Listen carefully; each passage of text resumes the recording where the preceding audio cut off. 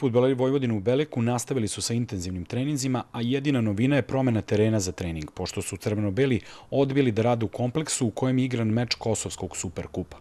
Trener Milan Rastavac na subotnjem večernjem treningu akcenat je stavio na igru u prekidima, a na kraju su izvođači slobodnih udaraca imali dodatne minute za individualni rad. E, jako redno radimo, kao što vidite, ili imamo dva treninga ili, ili utakmicu ili teretanu i trening, a motivacija naravno uvek se nađe. Ovaj, ne, bi, ne bih igrao futbal da, da nemam motivaciju, uvek kad izađem na teren mogu da dam maksimum svoj, jer je uvek na najvišem nivou motivacije.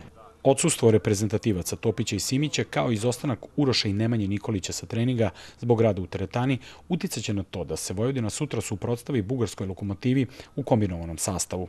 Crveno-Beli će već u ponedeljak imati novu proveru protiv ruskog Ahmata iz Grozmog.